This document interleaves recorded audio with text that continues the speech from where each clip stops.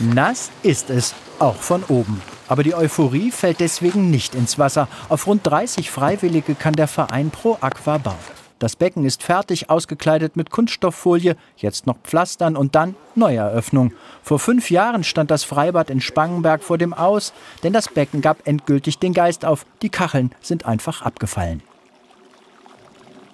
Im Hinterkopf war immer das Bewusstsein, wenn es mal wirklich so ist, dass das Becken Geist total aufgibt, dann war es das.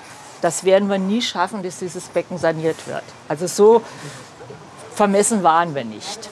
Vermessen vielleicht nicht, aber mutig. Mit einer Taskforce haben die Spangenberger angefangen, das Bad zu sanieren, mit so viel Energie, dass auch die Stadt nicht umhin konnte, das Engagement ihrer Bürgerinnen und Bürger schlussendlich zu honorieren, mit einmalig 550.000 Euro. Dafür aber müssen die Bürger im Verein das Freibad betreiben. Was die da geleistet haben, das ist sensationell. Bei Wind und Wetter, bei 30 Grad in der Hitze, äh, bei Regen dort unten gestanden haben, gepflastert haben äh, und alles das gemacht haben, damit es jetzt auf dem Stand wieder kommt, dass wir es bald hoffentlich wieder nutzen können. Das hofft auch Conny Duwe, denn das Bad ist Teil ihres Lebens. Ich bin hier aufgewachsen im Ort. Ähm, ich habe meine Kindheit, meine Jugend hier in dem Schwimmbad verbracht. Und irgendwie, weiß ich nicht, man fühlt sich verbunden. In zwei Wochen soll es fertig sein. Planschende Kinder, lachende Menschen, Spangenberg mit Freibad.